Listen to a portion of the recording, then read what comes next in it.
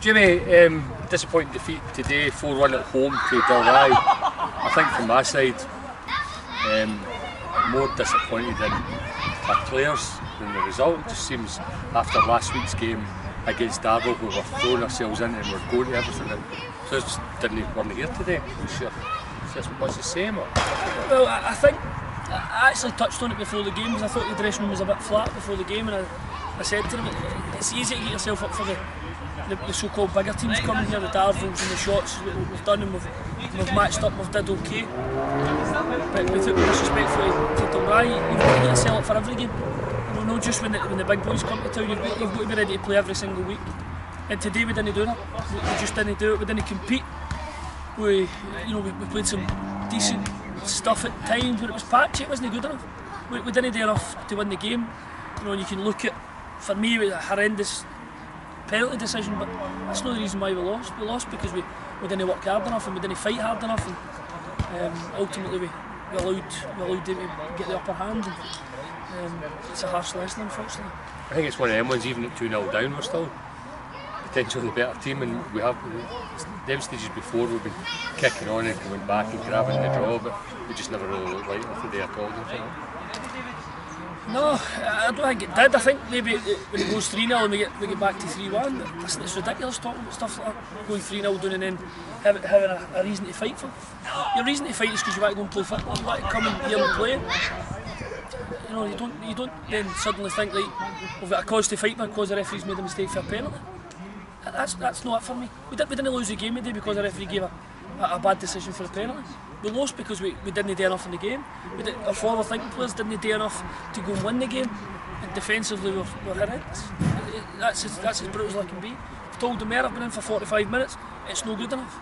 It's no good enough. And if we don't fix it, then ultimately I'm the fault guy. So if we don't get it right, then, then ultimately I, I need to fix it. Otherwise, you lose your job. Um, huge game next week, moving on to Scottish Cup. Kilbirnie, um, who we sort of seen their way past in the Scottish Cup last year, but I think they'll be a different team and it'll be a, a completely different game for us than it was last year. Yeah, I think they, they were struggling last year when we played them, you know, they were, they were struggling to find their feet a wee bit and we, we were flying high, so uh, we certainly, certainly different circumstances going into the game. I think they're third before today, so I don't know how they went today, but they were third in the league when I seen it last. Um, and we're, we're hanging about the middle of the league, which But listen, again, I've said to them, I've spent a lot of time in that dressing room. But see, see, Martin, see unless you're you've got that desire to go and work hard, you'll get nothing for football. But the bottom line is the best players in the world work hard. See, see if you're not prepared to work hard, you won't get in. I told them before the game, nothing, I've been involved in football on different levels for 20 years. I've never had anything placed in my lap, never been given anything for nothing. I had to work for everything I get. The day just didn't do I can't I can't emphasise how angry I'm and disappointed I'm about basic stuff. As I say, the, second goal's a, a, a bad penalty, but the first goal's embarrassing. The first goal's embarrassing. We, we lose we lose possession on the break, then we just don't defend. Don't defend.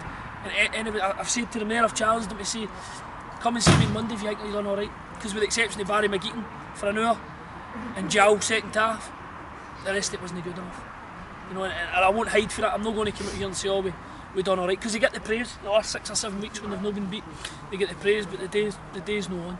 No on because um, I, am not I'm not having that. We, we can't come chasing games every single week. So um, it's down to me to go and fix it, and uh, I'll, I'll do that because I ain't losing my job for, for people who don't want to work hard. So Jimmy, you've been a about the game a long time, professional, and um, through juniors we've seen this before. What, what do you do to turn that around and get that back up? Because again, you go, you go on the training park and you go and work hard. I said, I, have said to the mayor again, I'm not going to hide anything I've said in the dressing room.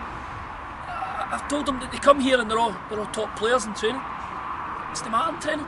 It's the matter in training. See when it's here and there's, there's something to play for. That's, that's when I judge people. That's when I judge people and, and they, can, they can go home the night and, and kid on to themselves they've done alright. But the one thing they can't lie to me, because I've just stood and watched them for 90 minutes. So the way I fix it is, is I go and work with them. But we're at a stage now, Matt, we've not had a clean sheet. So I, I need to fix it, that's the bottom line. So if it means new personnel, then so be it, because as I say, I, am not going down the route to um, put myself under pressure for, for people who are not going to work hard. Okay, Jimmy, um, we'll leave it there and we'll see you next week for the Scottish Cup. Cheers. Cheers.